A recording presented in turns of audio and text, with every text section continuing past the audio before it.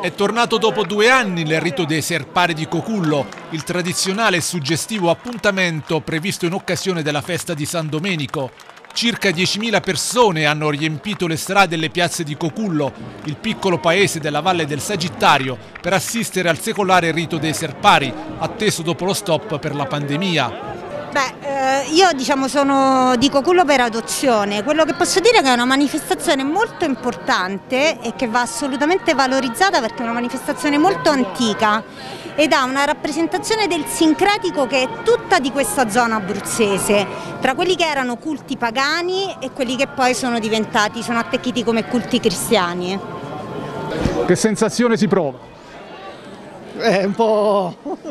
non lo so po' da brividi, però non fanno niente, dai.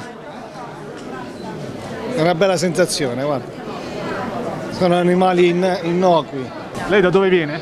Noi veniamo dal Gargano, Vico del Gargano, Puglia. È la prima volta? Sì, sì, è la prima volta.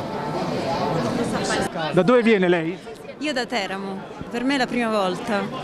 Una grande emozione? Sì, emozionante e soprattutto dà una, una certa sensazione di estasi, è proprio meraviglioso un'emozione mai provata. Poi pare che sia che stia che si trovi bene con me.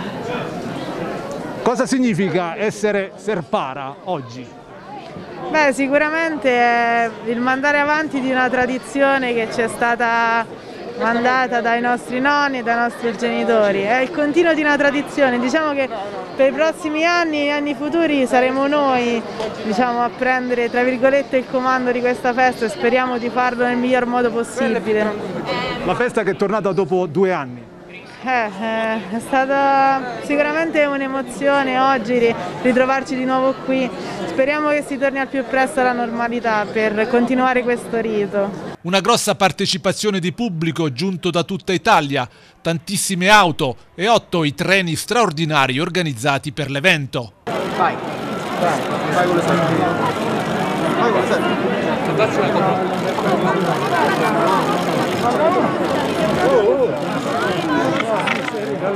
Ragazzi, eh. piano, con calma, con calma. Vai, vai, vai.